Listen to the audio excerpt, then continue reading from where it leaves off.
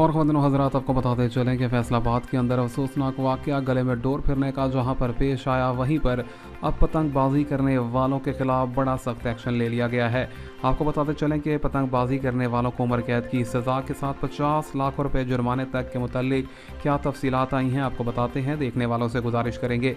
Channel को subscribe करें और बेलाइकन पर क्लिक करें। आपको बताते चलें कि वजी अला पंजाब ने बड़ा एक्शन ले लिया। पतंगबाजी करने वालों और फरोख्त करने वालों के खिलाफ नया क्रैकडाउन का आगाज़ कर दिया गया है।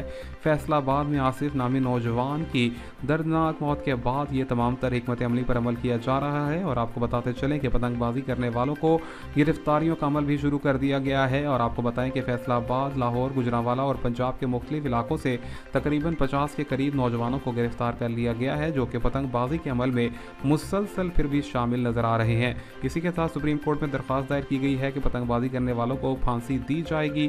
साथ ही साथ उम्र कैद की सजा होनी चाहिए ऐसे कातलों को और साथ ही साथ पचास लाख रुपए तक जुर्माना भी आयद किया जाएगा। ताहम सुप्रीम कोर्ट का क्या फैसला होगा बताएँगे नई अपडेट्स में।